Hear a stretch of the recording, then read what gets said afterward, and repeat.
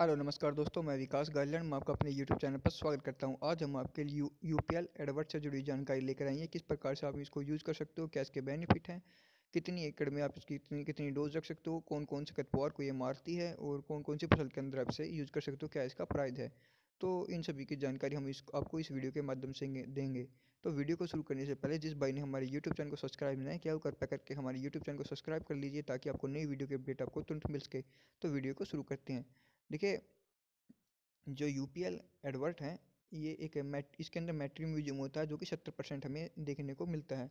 और जो एडवर्ट है, इसका मुख्य रूप से गेहूँ, धान देखिए आप बोल रहे हैं अस्सी परसेंट कैसे देखिए इसके अंदर जो टेक्निकल रिज़ल्ट है वो सेवेंटी नाइन में लाया जाता है। जैसे हम गेहूँ की फाइव परसेंट होता है जो कि अस्सी परसेंट करते हैं तो उस समय पॉइंट फाइव कम होता है इसलिए हमने अस्सी परसेंट इसको बोल दिया था। और ये हर्बसाइड होती है जो कि गेहूँ के अंदर और साथ में गन्ने के अंदर मकई के अंदर एक आलू और टमाटर इन सभी फ़सलों के अंदर यूज़ लाया जाता है। मुख्य रूप से ये ध्यान रखना पड़ेगा कि जहाँ पर आलू के अंदर भी इसको प्रयोग कर सकते हैं पर दोबारा अंदर हैं मकई के अंदर और जब गन्ने के अंदर गेहूँ के अंदर ये मंडूसी और गुली डंडा को खत्म करने का काम करता है। अल्ट्राजिन का भी प्रयोग कर सकते हैं। जो एक एकड़ की चटा होती है लसुआ होता है इन सभी को लगभग इसको खत्म करने का काम करता है। 200 ग्राम पर एकड़ के हिसाब से बहुत ही अच्छा हर्बिसाइड होता है गेहूँ के अंदर। गेहूँ के अंदर आप बहुत तरीके से यूज़ कर सकते हो एक तो इसको स्प्रे करके एक दूसरा आप इसको गन्ना के साथ में मिलाकर इसका प्रयोग कर सकते हो। मकई टमाटर आलू जो उसमें ला जाता है। और एक बार जैसे हम बात करें आलू के अंदर जब आपके आलू की तीन से चार अंदर चार पत्तियाँ निकल जाती हैं उस खाद के अंदर जहाँ पर अपने खाद डाल दी है इसका उपयोग कर सकते हैं यूरिया के साथ में मिलाकर